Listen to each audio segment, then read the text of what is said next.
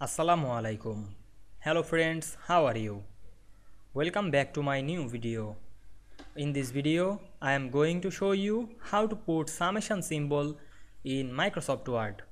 Let's get started.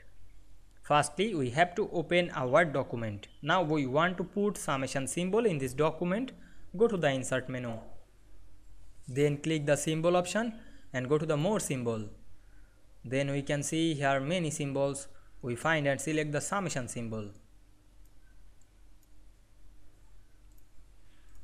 Here the summation symbol, we click it to insert. Now we can see we insert the summation symbol very easily. You can increase the size, go back the home menu and increase the size. I hope you enjoyed the video. Please like, comment, share and subscribe my channel. Thanks for watching.